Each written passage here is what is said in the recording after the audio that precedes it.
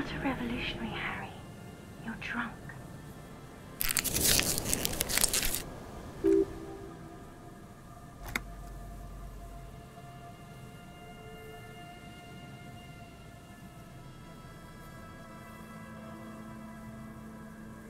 Oh, God.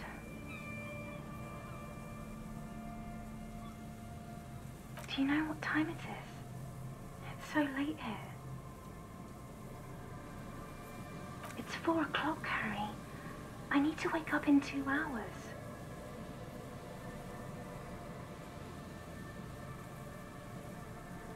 I'm in Morova, sleeping.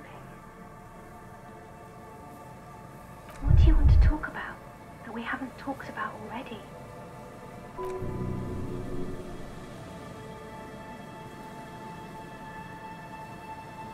To work. The academy where I work.